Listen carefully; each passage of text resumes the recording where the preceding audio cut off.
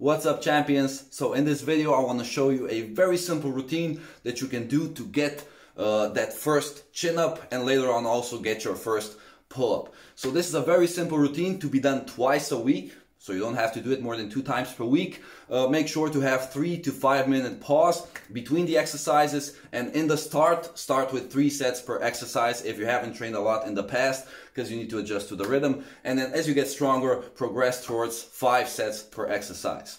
So that's all the details regarding it. And we're gonna use very simple exercises. What we're not gonna use is the band. So the band, even though these days you see it often abused for getting for doing the muscle ups or doing the doing the pull ups with assist, assistance underneath the feet.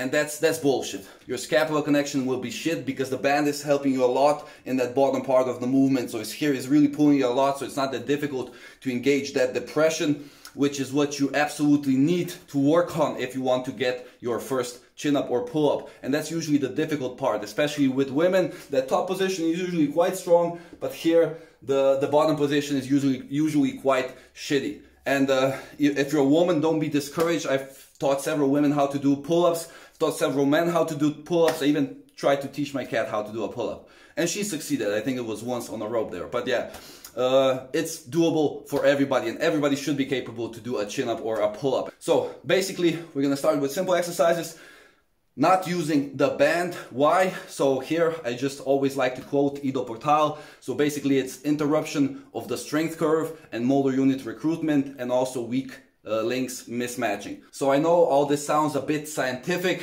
and it is, but basically it means if you're using the band, you're not gonna develop the strength uh, in the areas that you need it and also it's going to be slowing down your progress. Also I've seen the most uh, unsymmetrical pull-ups I've seen was with using the band because then people just don't give a shit about their scapular depression because the band is here just helping you so much. You see pull-ups with scapular elevation, you see just a lot of horrible stuff. So make sure with dynam dynamic movements don't use the band, but use the progression that you can actually perform. So you need to be a bit more patient here. But yeah, you need to be patient if you want to achieve great stuff. So yeah, be patient. So right now, let's get started with the routine. I'm gonna show you some different exercises.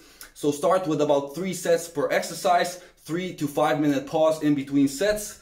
And then as you get stronger, progress towards five sets per exercise. So yeah, that's basically it. Let's get started with the routine and get your first uh, chin up or your first pull up.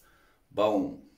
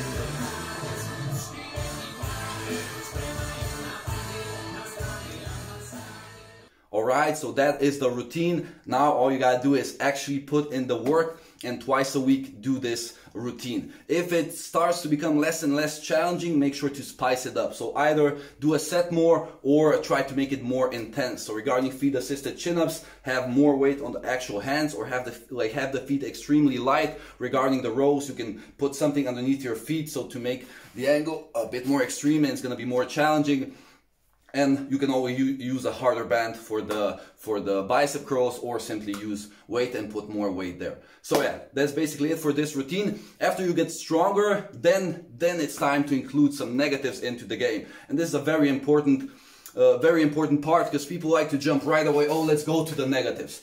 Negatives are the most stressful thing you can actually perform you know? And if you're a beginner if you're not capable of performing even one chin up you don't get to jump right away to negatives especially if you haven't been training so far you know? So it's very important to first develop some strength develop some muscle. So that's why this routine and then after this becomes a bit too easy and you feel like you can do a very controlled negative all the way down basically starting on the top here in a good position you can jump up or step on a stool or something and then simply lower down with good scapular depression and here First, extend the arms and then also uh, let go of that depression in both shoulders at the same time. So very important. So that's how you're gonna develop good scapular strength to be able to very soon do your first uh, chin up. And then later on, as you get stronger in the chin ups, obviously use the same principles and get to that pull up. Huh.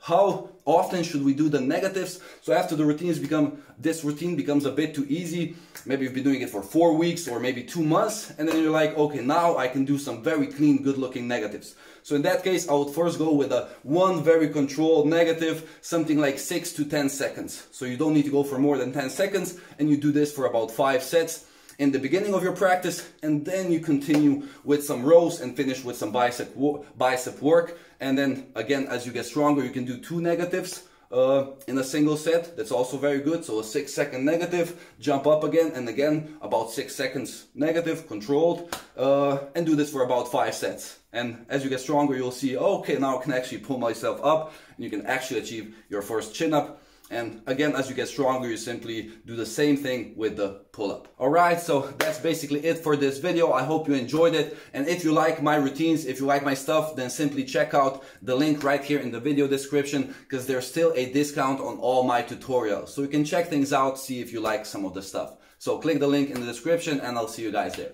Thank you so much for your time. And uh, remember, you're a champion. Boom.